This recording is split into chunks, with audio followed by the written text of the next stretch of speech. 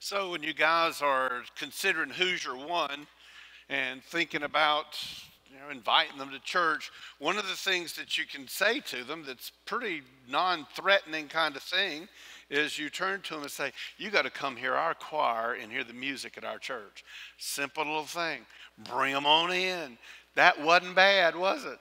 Choir looked good, sounded good. Man, alive.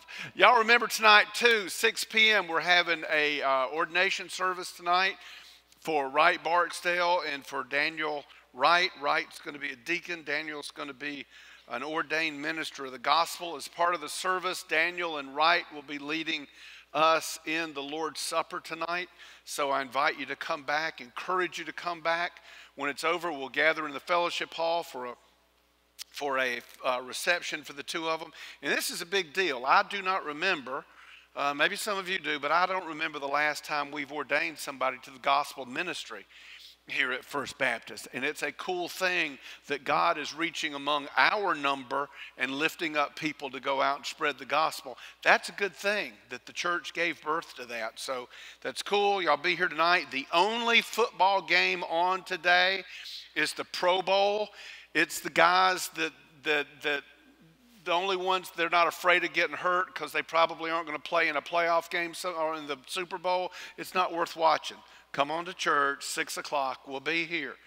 All right, Philippians, you know where we are. Philippians chapter 1. Y'all go ahead and look while you're doing it. I'll catch you up right quick on where we are. When we started studying Philippians a few weeks ago, the Apostle Paul wrote this letter to the folks at the church at Philippi. They were very special to him because he got the church started. He went there, met Lydia, went down to the riverbank. Well, he met Lydia at the riverbank, preached Jesus to her there. The Bible says that God opened her heart to understand what he was saying. She realized that she was a sinner under the wrath of God, needed a Savior, needed somebody to rescue her. Paul told her about our rescuer, Jesus. She understood. She becomes saved. She went home, told her family they were saved. Soon they had a little church going there at Philippi. Paul went some other places. The little church grew. They heard that Paul was in prison in Rome, so they sent him a gift by a guy by the name of Epaphroditus. That doesn't matter. I just like saying the word Epaphroditus. It's just one of those little cool mellifluous. Never mind. Uh, so Epaphroditus took him the gift and he's going to write them a thank you note. And it's the book of Philippians, is what he's writing to them. We said that the reason that Paul and the Philippians were so close was because they had a common mission. They were they were of one essence. They all knew that the gospel of Jesus Christ was the liberating message of all time. That Jesus Christ is the one that frees us from our sin. He gives us a new future, He gives us a new past. He is the one that comes into us. Makes us new, forgives us of our sin, makes us right with God. They both knew this. They wanted everybody to know it, and they were one in that fellowship. Now, last week we looked at the prayer that Paul prayed for them. And in that prayer, what he prayed is that their love, that word agape, their love, would be so knowledgeable, so smart, and so discerning that they would always be able to tell what was real and what was counterfeit when it came to life, when it came to the things of God. That they'd always be able to recognize what was godly, they'd always be able to recognize what was counterfeit, so that they would always choose God's thing. And he assured them in that prayer that even though sometimes it doesn't feel like it, you are always filled with the fruit of his righteousness. You can never be separated from Christ. You are one in Christ. Once you are his child, you will always be his child. You may not feel like it. You may feel like you failed, that you're a bum, that whatever. Your feelings don't count. The fact of the matter is that you are filled with the righteousness of Christ to the glory of God the Father. It is to God's glory that you were saved. So it's a cool thing. And that's where he's got them to. And then we get to verse number 12. And we read 12 through 18. So now I want you to know, brothers and sisters, that what has happened to me, he's in prison now, has actually advanced the gospel so that it has become known throughout the whole imperial guard and to everyone else that my imprisonment is because I am in Christ. Most of the brothers have gained confidence in the Lord from my imprisonment and dare even to speak the word, uh, to speak the word fearlessly. To be sure, some preach Christ out of envy and rivalry, but others out of goodwill. These preach out of love, knowing that I'm appointed for the defense of the gospel. The others proclaim Christ out of selfish ambition, not sincerely, thinking that they will cause me trouble in my imprisonment. But what in the world does that matter? Only that in every way, whether from false motives or true, Christ is proclaimed, and in this I rejoice. Now, why did Paul pray the prayer that we read earlier? Paul knows that life never works out like we imagine. He knows that we never end up where we think we're going to end up. And sometimes we start thinking that, that we aren't on God's plan, that we're not on God's path, that life is arbitrary and capricious and things just happen to us. And we forget the fact that God is in control. And when God is in control, we always have a reason to be glad.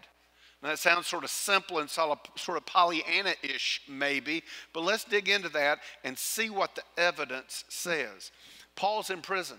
He did not plan to go to prison. Paul had a plan. Y'all know we talked about this. He was going to go to the east, and he couldn't go to the east. He was going to go to Bithynia in the north. He couldn't go to Bithynia.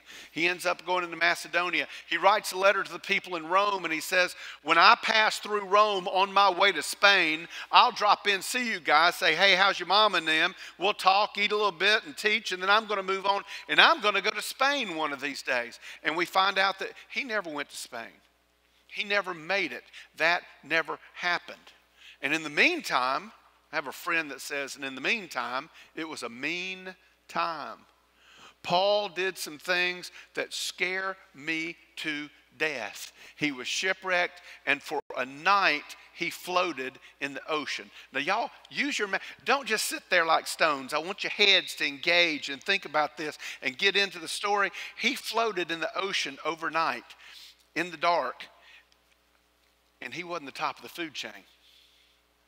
Y'all think about that. Would that not be the most terrifying thing in the world? That you are floating in the middle of the ocean, nothing around you, totally dark, and there are things underneath you that have big teeth, and you look like a pork chop. I'm telling you right now, that's frightening. And then when he does get on shore, they start a fire, and he reaches in for some firewood, and a poisonous snake bites his hand. Y'all know how much I enjoy snakes, right? This is the worst thing that could happen getting bit by a snake. So now he's floated in the ocean, he's been bit by a snake, he gets beaten a bunch of times. That doesn't sound exactly like he wanted his life to go, you know? And then he's in prison. He's got every reason in the world to get into a funk. He's got every reason in the world, got every reason in the world to be in despair. He thought he was going to be the first Billy Graham. He's going to be out all over the place preaching and teaching. And as, as good of a Pharisee as he was before, he was going to be even better preacher.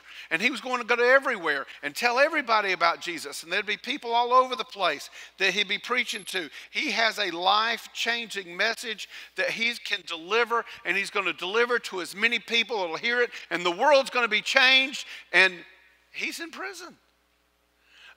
That's not the way he planned this thing to go.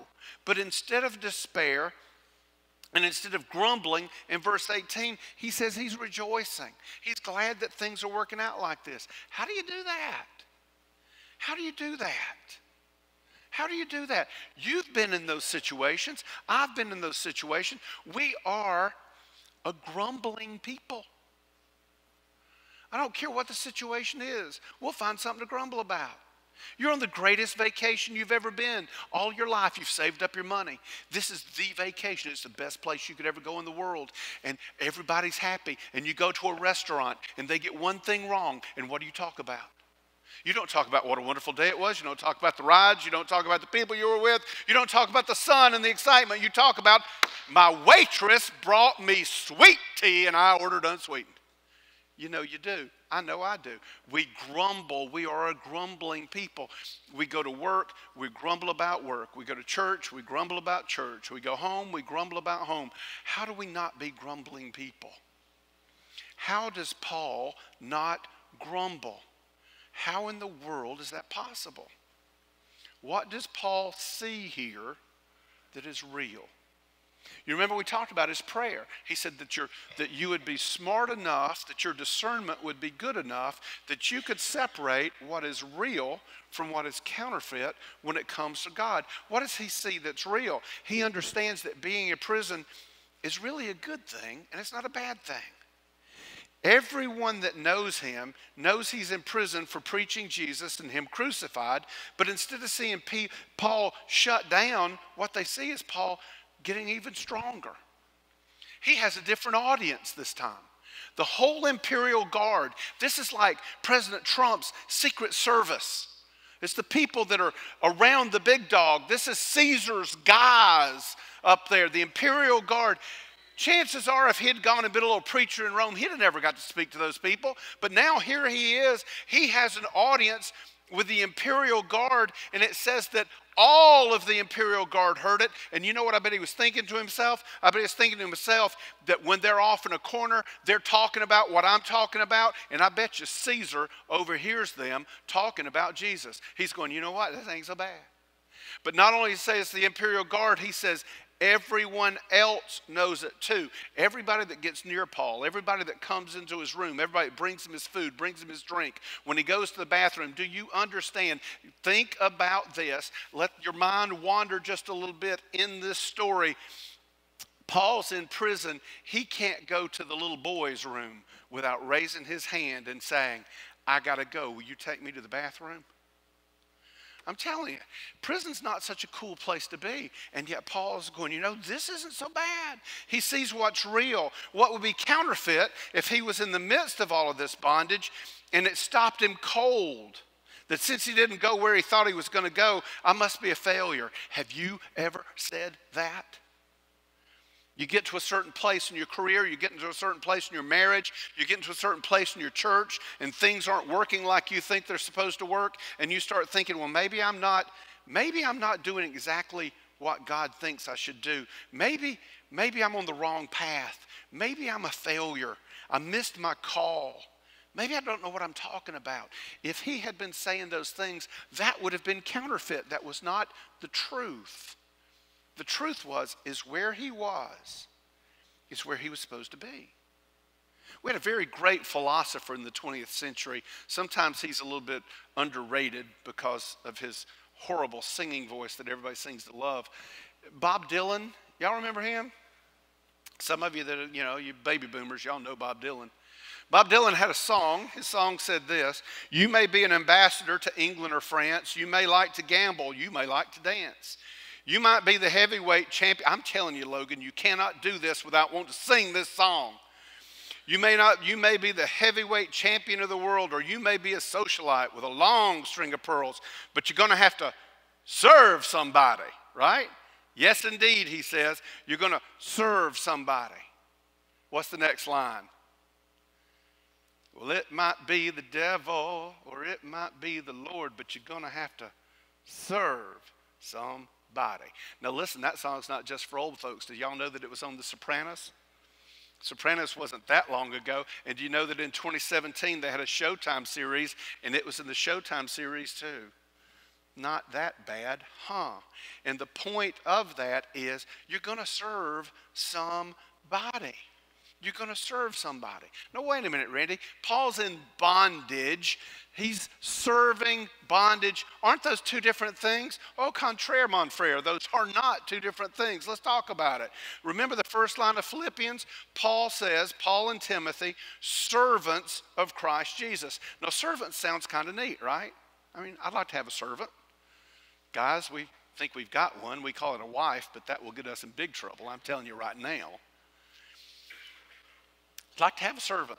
Somebody gets your clothes ready, got everything ironed for you, you know, gets the food you want, cooks it just like you want it.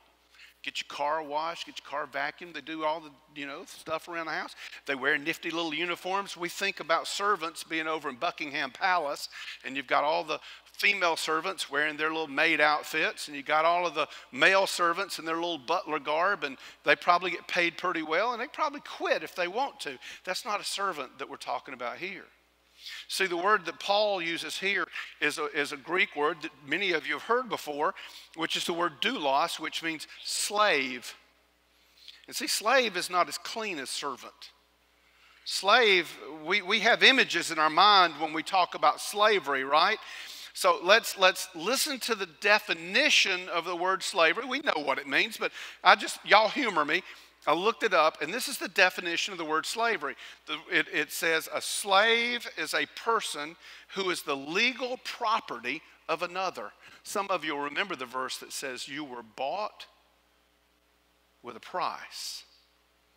You were bought with a price. All right? So, so you, you are the property of another and is forced to obey them. Now, that sort of bothers me. I don't like to be forced to do anything. But if that is correct, then Paul's imprisonment is just where Jesus wants him to be. Right? Since God is sovereign, then God wants Paul in a position where he is in jail in bondage, cannot do what he wants to do. He is not physically free. And Paul looks at that and he says, That's real. That's what God wants for me. To Paul be, for Paul to be sitting in prison saying that this isn't where I'm supposed to be, that I was meant for better than this, that I'm supposed to be doing something else, that's counterfeit. Because, see, where God has you is where you belong. Where God has you in that moment is where you belong. That's what he sees as real. For Paul to be sitting in prison and saying anything else would be counterfeit. He's a slave of Jesus. He found himself in prison, so instead of bemoaning his circumstances, he kept talking about Jesus until everybody knew that the reason that Paul is, is in jail is because he's preaching, and they either believed him or they didn't, and that's okay. He didn't care which one it was. He just knew that he was going to tell everybody that I've got a message that can change your life if you will allow it to, if you will receive what I'm telling you. Now, where have you been? And what have you done? What place do you find yourself in that you don't want to be there? There was a greater philosopher than Bob Dylan. He lived back in the first century and he said this Truly I tell you, everyone who commits a sin is a slave of sin. Well, now, who's committed a sin? Paul comes back later in the book of Romans and he says, For all have sinned. Every last stinking one of us. So Bob Dylan has it right. You're going to serve somebody. It might be the devil or it might be the Lord, but you're going to serve somebody, and who we serve makes a difference to how we live when our life gets shaken. When our life gets shaken. Because you know, when you're facing a divorce, or you're in a hard situation at work. Things aren't like you want them to be at school. They're not like you want them to be at church. They're not somewhere else. You thought you would be somewhere else, but here you are. You are shaken. This isn't the way I thought it was going to be. When you are shaken, what is in you is what comes out of you. Logan told us a story this week about what happened while he and Becca were at Union, uh, Union University in Jackson, Tennessee, doing their undergraduate work. A good friend of theirs was tragically killed, and it devastated, it devastated all of her friends. When a young person dies, that's tragic enough. I can guarantee when a young person dies, it's going to be a giant funeral because young people aren't supposed to die. It's going to be a giant funeral. In this situation, I believe the young lady was murdered, so it made it even worse. Everybody mourning for her, so they have a service, and a professor stands up and he brings a water bottle. And he opens the lid of the water bottle. And then he shakes the bottle. And water comes out of the top of it, sloshing all over everything. And he says, when you're shaken, what is in you splashes out. When Paul was shaken, Jesus splashed on everybody. He splashed on everybody. Now, maybe you're not a Christ follower. You hadn't trusted Jesus as your Savior. You're not really sure about all this stuff. Scripture says, if you believe it, you don't have to, but I do. Scripture says that you're a slave to sin. You're going to serve somebody, Bob Dylan. If you're not going to believe the scripture, believe Bob Dylan. You know, you're going to serve somebody. So if you're not serving Jesus, you're serving somebody else. You belong to somebody else. Well, that sounds pretty churchy, but really think about this. When you're in a bad situation, a hard situation, a situation that you didn't plan to be in, when you are shaken, what comes out of you? If your desire is all money, that's what you think is going to fix everything. When you're shaken, you're going to put money towards it. You're going to try to fix it with money. You're going to try to buy your way out of it. Some women do something called, this gets me in trouble, some women do something called retail therapy. Now, that's not necessarily wrong, unless every time something goes wrong in your life, you've got to go buy something, because that makes me feel better. It fixes my problem. Men do the same thing. You go into somebody's house and they've got more guns than you could kill an army with. They've got more boats. They got four wheelers. They got all this stuff. And you, and you wonder sometimes, why are you accumulating? I know you hunt, you do, you do. I got all that. But sometimes you just keep accumulating, accumulating, accumulating because you're shaken. And when you're shaken, you've got to, whatever's in you, it's got to come out. And, you know, you can do the traditional stuff. You can do the sex. You can do drugs. You can do, you can do alcohol. If those are your things, when you're shaken, you reach for those things. If your job is your thing, then that's what you put more time into. You put more effort into it to try to make it a little bit better. If you are shaken, what sloshes out of you? If Jesus isn't in you, Jesus will never slosh out. If you're not a Christ follower, well, maybe that's okay with you. But now let me ask you this question that, that's, that's a little more intense to me anyway is that you know you're going to get into a bad situation. When you're into that bad situation in your life, are you glad you're in it? How do you react when you get into that bad situation? Paul says, I rejoice. He says, I rejoice. I'm glad that Jesus put me in this situation because no matter what happens, even if I'm in prison, it's all good. Jesus, the main thing of my life is being done. I'm good with this. It's okay. It's in his hands. Do you ever wake up in the morning? The answer is no. If you tell me any other any other answer, I will believe that you'll be lying to me and you will have to explain yourself and maybe you can convince me, but do you ever wake up in the morning knowing you're going to have a horrible day, that it's going to be a bad meeting, that you're going to a job you don't like with people that you don't like in a place that you don't like, you're going to school to people that you don't care for, you've got a test coming up that day that's not properly studied for, you got all the things that are going on and you wake up in the morning and go, Praise Jesus, it's going to be a horrible day. I don't think anybody does that. I know I don't do that. Yet Paul wakes up in the morning going, This prison that I'm in, it's okay because God put me here. And while I'm shaken, I'm going to splash Jesus all over everybody. So you're not a Christian. You say to me, well, Pastor Randy, I know a lot of Christians who don't slosh so well. don't you know? How many of you in here, this is just out of my curiosity as a comparison to earlier service, how many of you in here were not born in 1980, not just that year, but since 1980. You weren't born before 1980, so you were born after 1980. Could you raise your hand? Born after 1980? After 19, yeah, there you go. You really, you're a baby. I didn't know that. How about that? Cool. Okay, 1980, I was born. In fact, 1980, I was working for IBM at IBM's Regional Administrative Support Center in Colony Square at the corner of either 10th and Peachtree or 14th and Peachtree. I can't remember exactly where. I had a fancy title. I was a senior administrative specialist, which is a fancy name for a billing and inventory control clerk. I was about three steps above an entry level job. I was not management, I was nobody, I was a clerk. But let me tell you something I was a good clerk. I wasn't just a good clerk, I was a great clerk. I wasn't just a great clerk, I was the best clerk. I am not kidding you. That is not brag. I could pull out the papers and show you. When I was in that job, they gave me the Atlanta office. The Atlanta office was the biggest office that you could have. We, we did Florida, Tennessee, let's see, we did Florida, Tennessee, North and South Carolina, and Georgia. And the biggest office to support was the Atlanta office, and they gave me the Atlanta office. When I got it, it was woefully behind. I mean, it was so far behind. But I am the kind of guy that I want to do the best work all the time, everywhere. You may not think it here, but I am doing my best.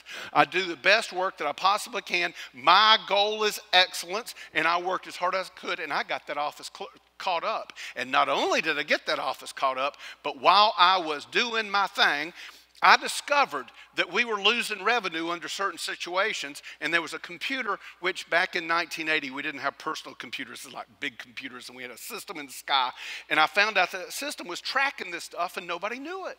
And so I came up with this process that we could do this. And they said, Well, Randy, you can't really do that because you're not authorized, blah, blah, blah. So I go to the right people and do the right things, and I work and I work and I work, and they make me write a manual, and I write a manual, and they read the manual, and they say it's approved, and they published it to be used all across the United States. I am not kidding you. My work was published for every regional administrative support system system for small business in IBM all across the United States. I was the man. I'm telling you, I was the man. And see, if you've ever worked for a major corporation, there's a point. I'm not just bragging, this is fact. I was the, if you ever work for a major corporation, you understand that they have things that they send their top performers to every year. You know? At, at AT&T, it was Circle of Excellence, top 2%. At Bell South, it was the Pinnacle Club, top 2%. IBM had the Diamond Club. They had a trip. Administrative person gets to go. And my trip. And my trip. I am the best in here, and you all know it. So when it's time to announce that trip, I'm going to go. I'm going to get my Diamond Club trip. And I went into that meeting and I was all humble and everything, you know. Walked in, sit down, and people would say, you know, this is going to be, nah, not mine, man. You know, I just, you know, it's just normal stuff, all this. And I was all this, and we had the meeting and they announced the name, and it wasn't me. You know what's even worse? It was the worst performer in the group. Must have seen it on my face because my boss pulled me aside later and he said to me, Listen, I want you to understand that she was the most improved person. We, the, the award wasn't for the most improved, it was for the best. I was the best. She could improve, but she had a long way to go. She improved more than anybody else. And we thought, God only knows who we were. We thought that if we gave her the award, it would encourage her to continue growing. And I, I understand. In fact, it's probably the right decision. Yes, I'm sure. Mm, I am very proud for her. Let me tell you something. There was no Jesus sloshing out of this boy that day. In fact, there was no Jesus sloshing out of this boy for a little while. I went to a funk. I didn't want to go to work anymore. Work was what filled me.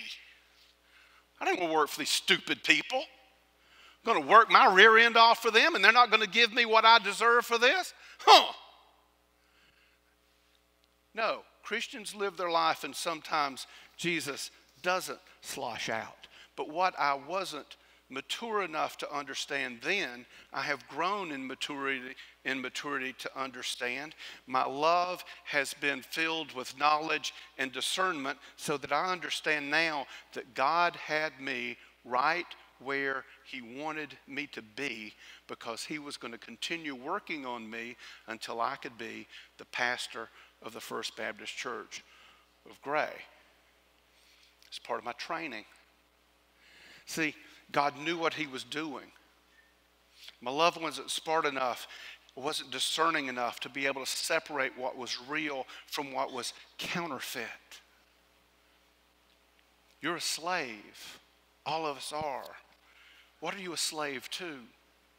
And when you are, when you are shaken, what sloshes out of you? Paul's shaking was vicious. When you read the story and listen to it, these people, while he was in prison, bound in chains in bondage, unable to go to the bathroom without asking somebody for permission, unable to stop anybody from saying anything about him, there were other people that were thrilled to death that Paul's out of commission. They're going around telling folks, you know what? And you've probably had this happen to you. If they're such a good person, if Paul was such a good person, then why did God let him go to prison? Why was he in prison? If he was so great, if he was such a great preacher, why has God done this bad thing to him? And we've probably said that same thing to, to ourselves about other people. If they're so great, why is this happening? Well, I wonder, could it be? I wonder, could it be that God has them exactly where He wants them to be so that they could end up sloshing Jesus on everybody to the glory of God the Father? Paul could have let their freedom eat, them, eat him alive. He could have gotten wrapped up in envy. Their taunts could have sent him into a raging, fuming tirade. He could have let their envy and rivalry of him sink him into the deepest funk imaginable. And instead, Paul says, It's okay. I'm glad. I'm glad because what I stand for is happening. The gospel is being shared. When the ministry team was talking about this text, uh, a couple of weeks ago, Michael Abney said to me, he said, No, Randy, you need to remember something though. When you're talking about millennials, folks between the ages of 23 and 38, Jesus typically isn't in their top five.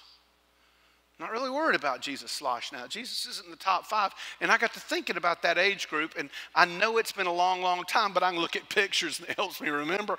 And see, back in those days, between the ages of 18 and 35, that's typically when you get married for the first time. Now, you hope it's the last time, the only time, but sometimes it's not. But during those ages, you usually get married for the first time. And so when you get married, your spouse is in your top five. I mean, they're just in your top five. And then while, while in that age group, typically we, we start, um, start getting our careers in order. And our careers in our top five, we want to be somebody. We want to do something. We want to make our mark. We want to make our name. So career is very important. It's in our top five. And then as time passes and things go on, we start to have children or we adopt, you know, 18 to 35. You'll have one child, then there'll be a second, a third. Once you get to four, you've sort of lost your mind. But there are people that go four, five, six, seven, eight, nine, 10, 11, 12, whatever number.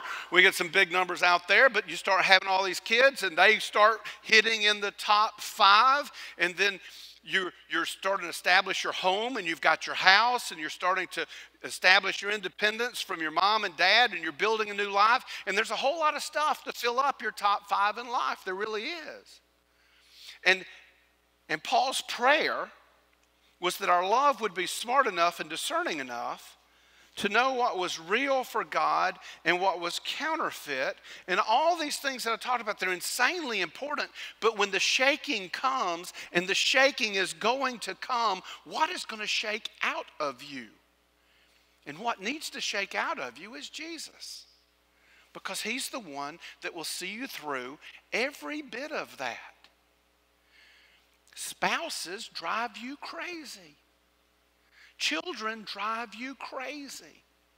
The stuff you own, you don't own your stuff. Your stuff owns you.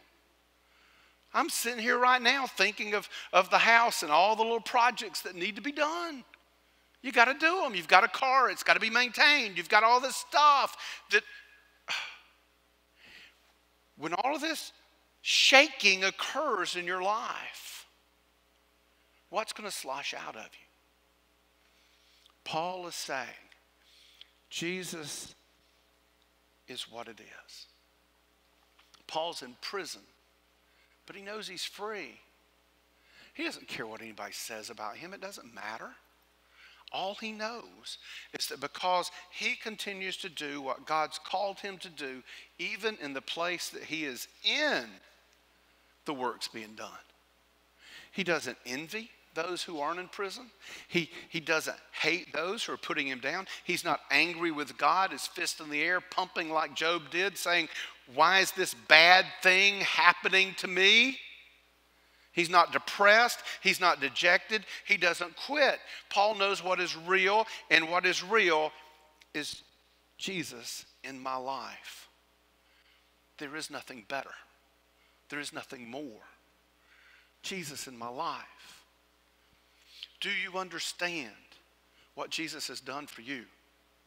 You were a sinner destined to go to hell when you die. You are a sinner destined to live your entire life making up your own rules, doing the best you can in every situation.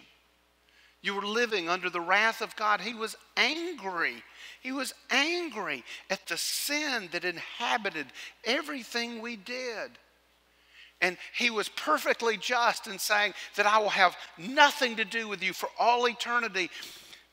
But he loved us so much that in while we were yet sinners, when we didn't know what we needed, we had no clue what it was that we were to do or that we even needed rescuing. While we were sinners, he died for us so that we could be free and we could live our lives to the glory of God the Father. The very blood of the Son of God was poured out to pay the price for our sins. If He did that, will He leave us alone in the middle of our shaking? If He did that, would He allow us to go any place that He would not go? I must not be in God's will. How can I be away from God? Scripture says that nothing can separate me. Nothing. So if I am going through hell and torment in my life, am I to believe that He is not here with me? No, He is here with me. And not only is He with me, He is He has me here for a purpose. And if I will, if I will trust His purpose, He will give glory to God the Father because of what he has done in me. It's a whole lot better than getting the Diamond Club at IBM. The Father smiles. When you are shaken, what comes out of you? Let's pray.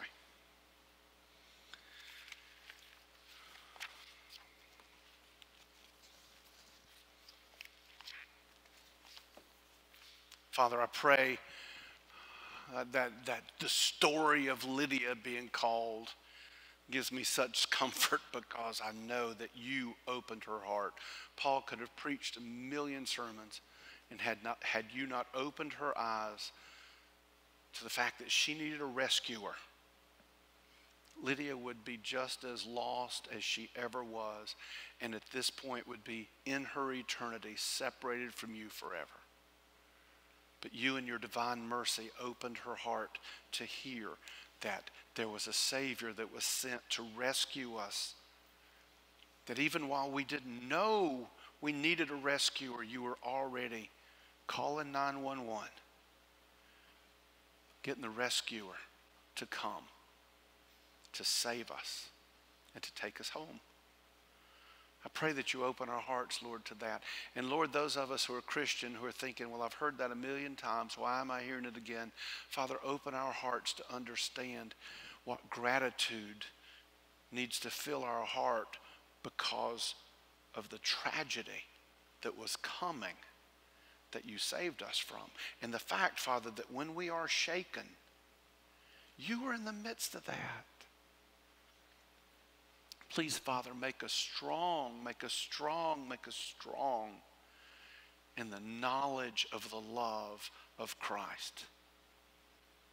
Make us strong in the knowledge that God sent his Son. Make us strong in the knowledge that the Holy Spirit inhabits us and holds us fast in every situation that we find ourselves in that you have put us in in every situation. Help us, Father, we pray. Help us to see and to hear and to know. In Jesus' name, amen.